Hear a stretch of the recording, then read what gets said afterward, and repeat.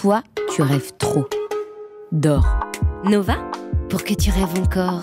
Non, non, non, non, non, ne, dor- ne dormez pas. La France est au volant ce matin puisque ne- nous sommes au cœur d'un vendredi technique spécial Gova avec Jean-Pierre Gagic, notre star d'automoto, euh, l'émission de TF1 qui nous a prêté euh, son expert, son essayeur de voiture. Merci d'être là, Jean-Pierre, ce matin avec nous. Queenie, on a une, une, une question qui vient d'arriver là. Ouais, il y a Christelle qui veut savoir si on peut changer le son d'un klaxon de voiture, mettre quelque chose de plus mélodique par exemple. Ah, Christelle, elle veut, elle veut s'accorder à la musique qu'elle écoute sur Nova. Oui. Alors, Jean-Pierre, on peut ou pas?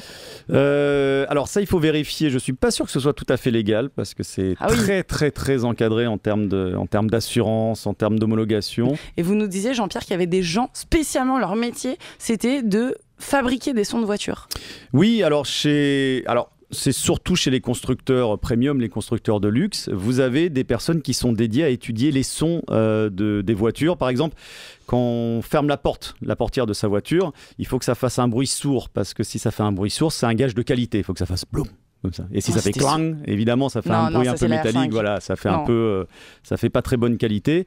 Euh, sur le son des moteurs aussi, sur les voitures de sport, vous avez des, des anciens chefs d'orchestre, euh, Ah ouais notamment chez Ferrari, pour ne pas citer la marque. Ça y est. C'est fait, qui, eh bien, qui étudie en fait le son des moteurs pour que le moteur, eh bien, il a un bruit, un, voilà, un peu, un peu, un peu sauvage, un peu métallique, euh, un peu agressif comme ça, parce qu'une Ferrari doit avoir évidemment, évidemment un joli bruit. oui. questions euh, d'auditeurs qui ont, qui ont énormément de problèmes techniques, mais aussi des questions de, de- de savoir. Ils voudraient comprendre pourquoi en France on, on- on roule à droite et pourquoi euh, dans le Commonwealth et en- au Royaume-Uni on roule à gauche. Les Anglais ont tout à fait raison, puisque Ah, euh, ça remonte au Moyen Âge, euh, lorsque les chevaliers, lorsqu'on était à cheval et qu'on portait l'arme, la- on portait, comme la plupart des gens étaient droitiers, le son était droitier, ils portaient l'arme, euh, donc l'épée à gauche, et pour sortir l'épée, évidemment, chiou. donc en fait, on remontait les chemins euh, à gauche de la route Pour pouvoir sortir l'arme pour et pouvoir sortir la l'arme, voilà. Qu'est-ce qui s'est passé? Qu'est-ce qui, qui- Pourquoi on a changé? Eh bien, c'est grâce à ce fameux Napoléon, encore une fois, euh, qui avait décidé, pour, euh, pour enquiquiner les Anglais, bien sûr, euh, eh bien de, de faire un peu plus de choses par la droite, notamment mener des attaques par la droite, alors que de tradition, on menait les attaques par la gauche. Effet de surprise. Effet de surprise, bien évidemment. Et il a décidé, mais alors vraiment pour, euh, pour, pour, enquiquiner les- les, les ouais. Britanniques. Voilà, à partir de maintenant, on va changer et on roule et on inverse le sens de circulation. Et nous, on va remonter à droite et non plus, et non plus, et non plus à gauche. Et il y a eu plein d'accidents de charrette pendant six mois, quoi, on imagine. Ouais, il y a dû y avoir pas mal d'accidents de chariote à l'époque. ouais. On a une question qui va foutre la merde, hein, clairement, Queenie. On vous demande de nous poser des questions de voiture. Et là, on a Loïc, non, qui pose pas des questions, mais qui se plaint. Ouais, il nous dit que sa compagne a rayé sa Laguna, il y a une photo à l'appui, Et et voilà, une petite il rayure. envoie une rayure de Laguna et il dit que forcément c'est sa compagne. Est-ce que vraiment les femmes conduisent plus mal? Je vais poser la question comme ça tout de go. Non, c'est totalement faux. Ce sont, Ah, merci. euh, Bah, voilà. ce sont Voilà. les femmes qui conduisent le mieux et de loin. Puisque... Ça, il y a des études, hein. Ah oui, il y a des études, il y a des statistiques, puisque je crois que c'est 70%, euh, plus de 70% des délits commis sur la route euh, sont des, sont, euh, pour, ont pour origine des conducteurs masculins.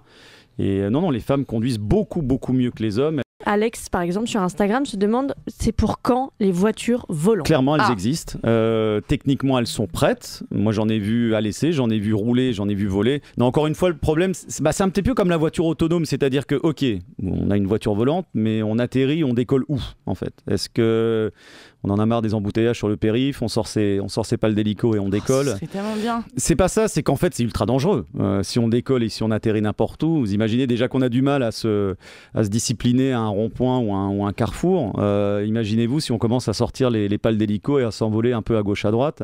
C'est tout aussi pratique de prendre un hélico et un taxi derrière, hein, clairement. C'est souvent ce que je me Bah dis. oui. Oh, je vais me prendre mon hélico-taxi.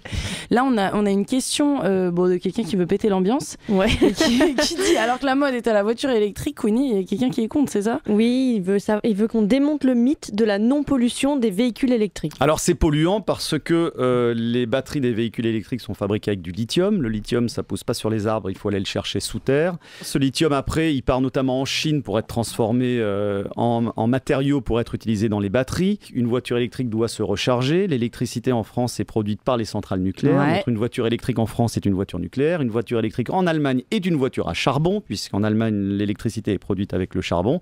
Et puis derrière, bien évidemment, c'est euh, tout le problème du recyclage de ces batteries, puisqu'une voiture électrique est beaucoup plus complexe à recycler qu'une voiture classique. Je pense que ce qu'il faut changer plus, c'est notre mode de déplacement, puisque ce qui est aberrant surtout, c'est de voir qu'on se déplace tous majoritairement seuls dans notre voiture. Et ça, c'est vraiment une aberration. Je pense que c'est notre, c'est vraiment notre manière en fait de, de se déplacer qui doit, qui doit évoluer. Mais merci beaucoup. On va mourir moins con hein, ce matin. Oui. On le sent et on va rouler plus conscient. Toi, tu rêves trop. Dors. Nova, pour que tu rêves encore.